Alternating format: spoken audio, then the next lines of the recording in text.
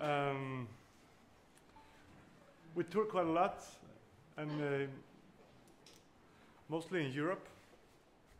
And uh, there we usually do a couple of tours a year in, in Germany. And uh, some years back, we were on a tour, and we had uh, we had four off days. Usually we play each day, each night, and then move on. But we had four days where we had to stay in the same city. And it, uh, we didn't book the hotel before we came, and it turned out that there was something, some business things going on. So all the hotels were fully booked. And it was night, and we, we didn't have any, any place to stay. So we yeah, Googled around and asked people where where could we go? And the lady told us that uh, outside of town, outside of Augsburg, there's uh, in the woods there's a hotel. You can try that. So we drove out there, and it was uh, closed because uh, it's kind of a summer situation.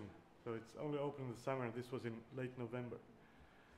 But it, uh, it turned out that the lady who has the hotel, she was she was there doing some some business, some accounting. So, so we knocked on the door and said, "Well, we got this situation. Could you could you help us out?" And she said, "Yes.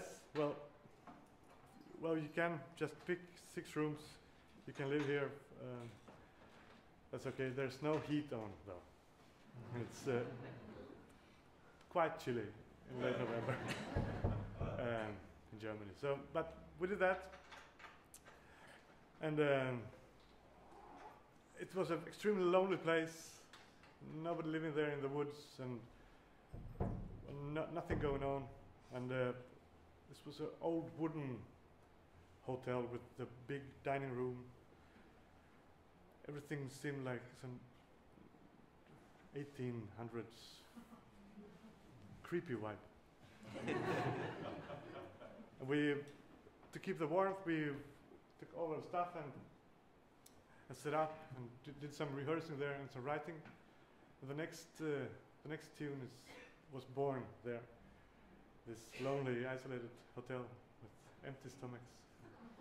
and, yeah.